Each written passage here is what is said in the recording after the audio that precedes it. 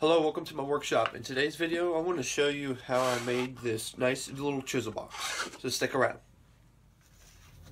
So I began by laying all my chisels out on my table saw just to kind of get a rough idea of the size that I wanted to shoot for. I ended up ultimately making it a little narrower than what you see now. And it was mainly just because I wanted to try to fit this in the smallest box possible.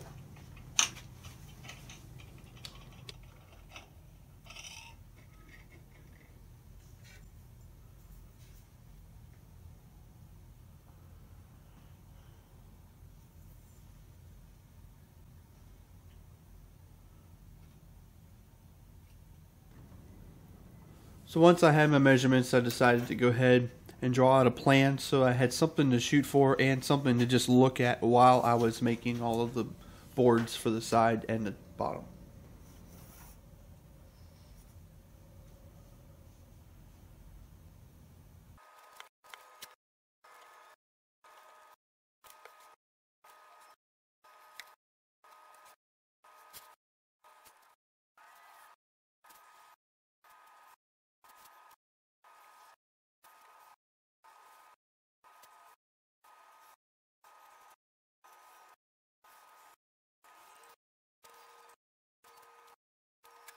For the sides and the bottom of my box, I decided to use this piece of half-inch Baltic birch plywood that I had left over.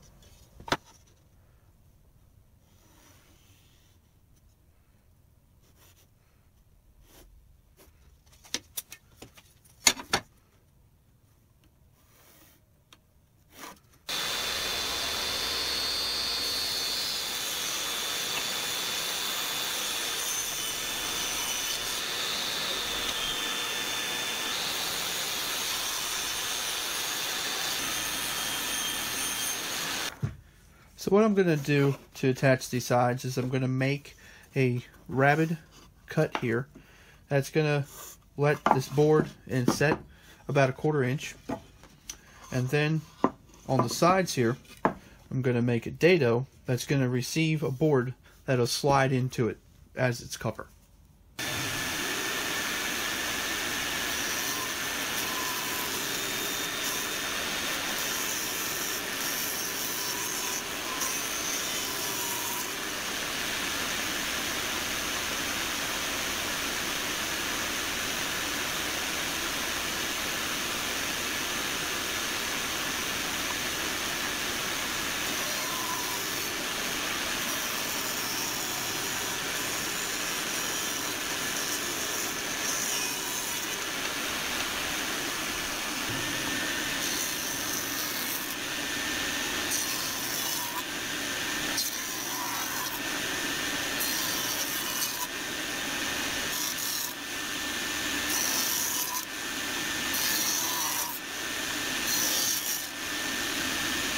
After cutting all of the rabbets, I wanted to give it a test fit just to see how the sides would fit. And they fit perfectly.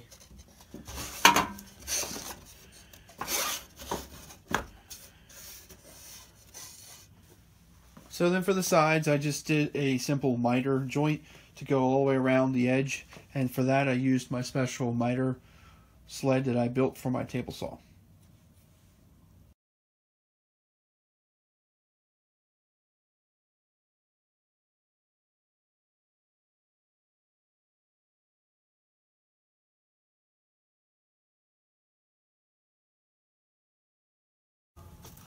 So now I've got them all kind of just sitting here dry fitted to make sure everything is going to line up and work well and everything looks good. Now I want to make this so that my board will slip into the dado that I cut and to make that possible I'm going to take one of these and I'm actually going to just go ahead and cut this whole lip off.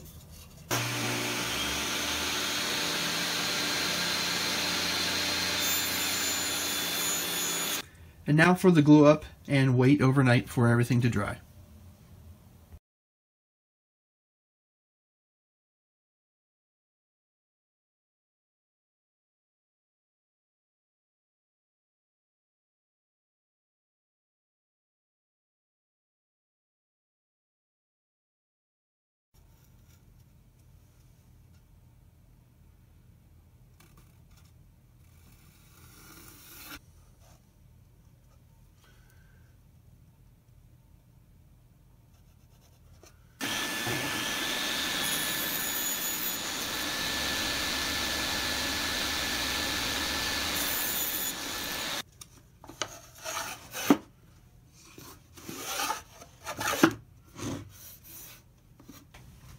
For the drawer pull, what I'm going to actually use is a piece of hardwood.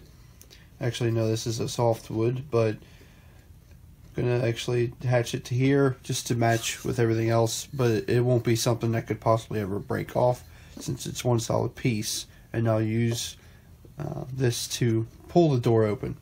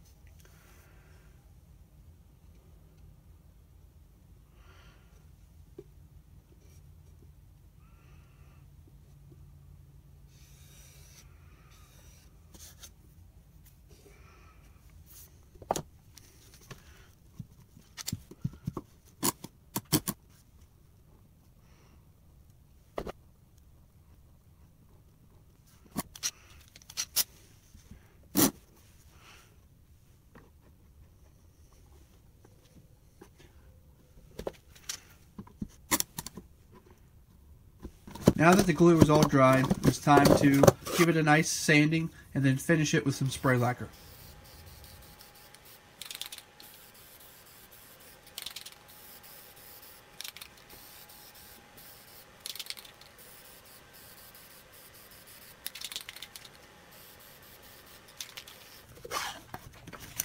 There we have it. It's all done. Everything fits perfectly and the door slides really nicely. So I hope you enjoyed this project. If you did, give me a thumbs up and give me a comment below. To tell me if you liked it. If you haven't already, please subscribe to my channel and follow me on Facebook and Instagram. Thanks for watching.